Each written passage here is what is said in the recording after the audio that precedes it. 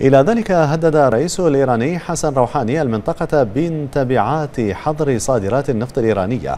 جاء ذلك جاء تصريح روحاني خلال زيارته لسويسرا والنمسا في محاولة أخيرة لإنقاذ الاتفاق النووي. وقال روحاني إن الولايات المتحدة لا تستطيع منع صادرات النفط الأمريكي مهددا بالرد على أمريكا إذا منعت الصادرات النفطية الإيرانية.